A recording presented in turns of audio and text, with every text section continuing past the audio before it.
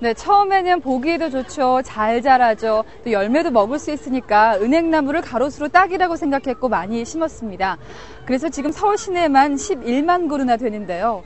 하지만 부작용도 많은데 이거 어떻게 해야 될까요? 디지털 스튜디오에 김학재 기자 나와주시죠.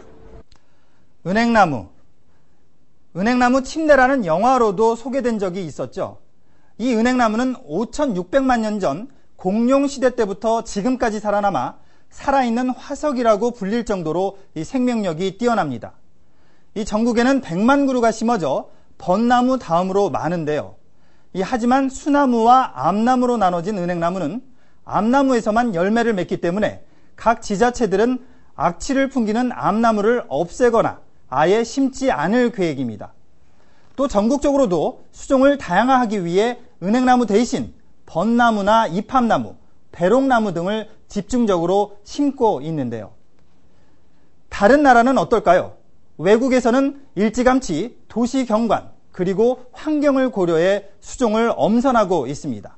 파리에서 이충영 특파원이 전해왔습니다. 답답하지만 도시 속 일상을 포기할 수도 없습니다.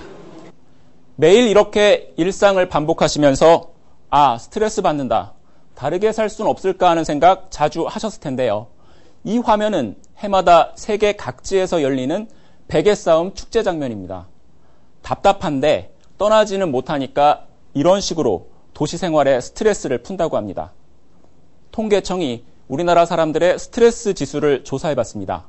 도시인 가운데 61%가 스트레스에 시달리고 특히 3, 40대가 가장 큰 고통을 호소했습니다.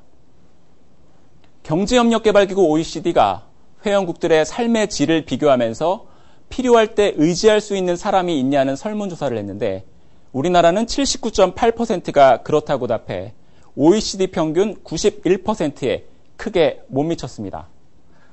박석호 기자의 보도를 보시면서 도시 생활의 대안을 고민해 보시죠.